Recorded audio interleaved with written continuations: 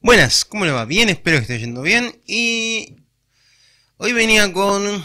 Bien, es un video corto, bien, donde vamos a explicar conceptos básicos, o sea, conceptos teóricos más que nada, eh, porque vengo, estaba en el foro, estaba en el foro de desarrollo, bien, y el señor Alberto Hoyos eh, hizo una pregunta que la, el problema es que de la forma que lo formuló, me da a entender que realmente no tiene mucha noción de lo que está diciendo. ¿bien? Es una, que es una persona que está recién empezando y tiene conceptos erróneos. Bien, yo al principio le respondí y después me puse a mirar de la forma que estaba formulada la pregunta y realmente, a ver, ya se lo, puse en, el en, en, los comentarios que está formulada, la, la, pregunta está formulada mal. Bien, vamos a, a ver la pregunta y vamos a explicar por qué está mal formulada. Bien y después vamos a intentar eh, contestarla, ¿bien? De una forma correcta. ¿Existe en Blender alguna manera de texturizar un objeto con una sola textura y no con UVs y que al importarla a Unity esta reconozca la textura tileable del objeto? ¿Bien? Eh, detalle por cual yo digo que está mal formulada la pregunta. Un objeto con una sola textura tileable y no con UVs. ¿Bien? Es decir, partamos de la base, bien, partamos de la base del concepto básico de, Blender, bien, y es que esto es una esto es una primitiva en Blender, eso básicamente lo que abrimos por defecto siempre es una un, cubo, bien, y Unity, eh, perdón, Blender tiene ese cubo, ya tiene una proyección de U's, de hecho, que es, es una proyección tipo cubo, bien, eso quiere decir que si yo a este cubo le doy le agrego un material, en las seis caras se va a replicar exactamente lo mismo. ¿Bien? Entonces yo pongo, por ejemplo, una textura de ladrillo en este, en este cubo. Va a pasar que en las seis caras del cubo se va a ver exactamente igual. ¿Bien? Se va a ver exactamente igual. El problema va a ser cuando yo empiece a deformar ese, ese objeto. ¿Bien?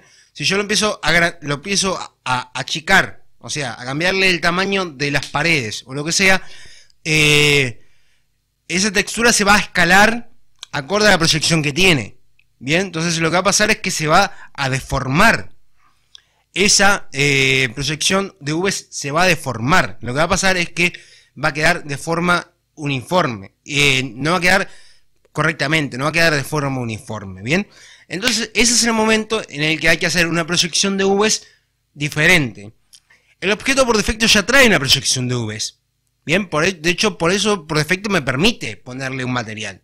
Bien, ahora, eh, si yo quiero, obviamente, si yo lo que estoy haciendo es un cubo, no tengo, y quiero que en las seis partes de ese cubo se vea lo mismo, por ejemplo, bueno, estaré bien, yo lo he hecho lo puedo, dejar así sin cambiar las Vs. Pero V ya tiene en sí mismo. El, cubo este ya tiene unas Vs. ¿Bien?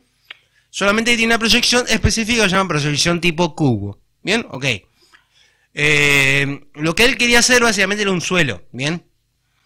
Eh, pero tomémoslo de la forma de que yo quiero hacer un objeto más grande, ¿bien?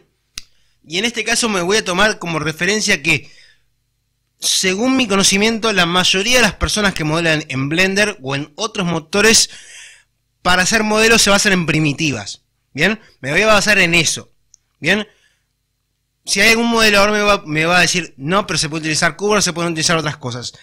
Pero la mayoría de las personas, eh, la el 80, yo diría por decir, el 80% de los modeladores para hacer eh, em, para hacer objetos complejos utilizan primitivas. ¿Bien? Y eso es fácil de darse cuenta porque cuando vos, cuando por ejemplo yo me descargo algo para, para eh, que está hecho en Blend, está hecho en Blender o en otro programa, en, eh, para Unity, cuando, cuando lo encontraste, te encontrás que adentro las piezas dicen eh, plane tanto, plane 1, plane 2, plane 3, plane 4, cube 1, cube 2, sphere, o sea, no le cambian los nombres y directamente son duplicados de la esfera y duplicados de los planos y duplicados de los cubos. Entonces, me quiere, a mí me, me da a entender que ese objeto se hizo en base a primitivas se hizo en base a cubos, eh, eh, cubos, esferas y planos. ¿Bien? tomando en cuenta eso, yo le voy a decir que la esas primitivas por defecto ya tienen una proyección de Vs. El problema es que si yo tomo esas, por ejemplo, si yo pongo 4 o 5 cubos, por ejemplo, y yo quiero que esos cubos se comporten de forma, o sea, como uno solo, o sea, poner un solo material para todos esos cubos, eh, o lo que sea, tengo que hacer una proyección de Vs. Bien, la proyección de Vs lo que hace es, eh, bien, hace es unificar, con la proyección de Vs en Blender nosotros lo que hacemos es unificar eh, en una sola textura, bueno, es decir, hacer minimizar la cantidad de materiales que vamos a necesitar, ¿bien? Reducir la cantidad de materiales que vamos a necesitar. Por ejemplo, yo digo, si yo agarro hago, eh, cuatro cubos y quiero que esos cuatro cubos tengan la textura la tomen de forma diferente, tengo que hacerle a cada uno de ellos, tengo que hacerle una, un material diferente. En cambio, si hago, los convierto en un solo material, en uno solo, y hago una proyección de Vs correctamente, lo que va a pasar es que voy a poder hacer un solo, haciendo un solo material, puedo mejorar eh, el tamaño, ¿bien? Y ahí es cuando, y ahí es cuando, bueno, ya no voy a meter mucho más, pero ahí es cuando se utilizan, eh, se hacen texturas Atlas y se hacen un montón de cosas, ¿bien? Se utilizan, ya digo, texturas Atlas, que es tipo agarrar una, una textura muy grande, ¿bien? Una textura de 1024 o de 4096 o lo que sea, con esa sola textura, ¿bien? Con una, con una sola imagen, hacer todo un mapeado completo, ¿bien? O sea, hacemos todo un escenario completo y en ese escenario hay una sola textura, ¿bien? Hay muchos materiales, pero hay una sola textura, ¿bien? Entonces, la proyección de Vs de forma manual es eh, una forma de optimizar las cosas. Y no como él dice, no es que sean conceptos diferentes. Te lo digo, no me maten los que sean modeladores diciéndome que con las curvas no pasa lo mismo, ¿bien? Pues yo sé que vos puedes, agregar acá un objeto tipo curva, ¿bien? Que son bracers, circles, eh, pads, que eso seguramente, no sé, no utilizo curvas, no sé utilizar curvas, usted me va a decir, no, eso no tiene nubes. Bueno, eso sí, pero yo le digo, la mayoría de las personas, el 80% de las personas que modelan con, hacen modelos, no utilizan curvas, utilizan eh, objetos. ¿Bien? ¿Se entiende? ¿Se entendió? No estoy diciendo que esto sea algo general que pase para siempre. Me estoy basando en la mayoría, en que la mayoría de los modelos, con mi experiencia propia, sé que la mayoría de los modeladores utilizan curvas. Perdón, utilizan eh, objetos, o sea, primitivas, y no utilizan curvas. ¿Bien? Seguramente eso, si no se aplica a, las curvas, ustedes ya me irán a corregir. Me van a corregir si no se aplica a las curvas, lo que yo estoy diciendo.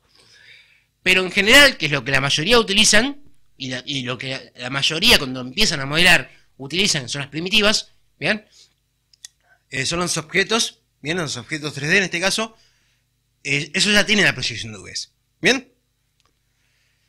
Eh, ¿Se entendió? ¿Se entendió? La, la, cuestión es, no es que no tengas V, es que simplemente, de hecho, los objetos, cuando vos ya los, cuando los ya traen su vez, el problema es que esas subes muchas veces son ineficientes. Cuando, nosotros, cuando vos empezás a deformar, ya sea a, obstruir o a cambiar el tamaño de una, o sea, ya empezás a hacer o translate, rotate o scale a, a un objeto, eh, tenés que hacer un nuevo mapeado de Vs porque al fin y al cabo lo que estás haciendo es, como estás deformando esa, como estás transformando ese objeto, eh, no, se, no se va a tener que comportar de la misma forma el material. ¿Bien? Entonces, Vs tienen, ya te digo, el, cubo tiene por defecto Vs. Lo que no tiene es, a ver, lo que tiene un V pensado para una proyección, una proyección en cubo, para que sea un cubo, nada más. ¿Bien? V ya tiene, bien, ese es el detalle, V la va a tener igual, solamente que es óptima para el momento. Entonces, vos lo que haces cuando creas Vs o cuando generas las eh, las coordenadas de las subes, en realidad lo que estás haciendo es, ok, eh, vos ya tenés tus subes, ok, pero yo las preciso así, yo las preciso de otra forma que me queden más cómodas a mí. Esa es la diferencia, ¿bien? Eh, que cuando vos generas las subes a tu manera, estás dándole los parámetros a lo mismo. Ya le digo, si vos a este cubo le querés poner una sola textura, lo puedes hacer. Bien, y vas a tener las cuatro, las, seis caras con la misma textura. Ahora, cuando vos lo empiezas a deformar, vas a tener que generar coordenadas diferentes.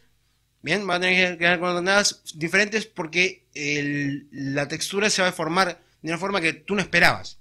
Bien, eh, ya le digo, es tan simple como que si no, no tuviera, si el componente no tuviera Vs, básicamente no, no es decir, si un objeto en Blender no tiene Vs, no acepta un material.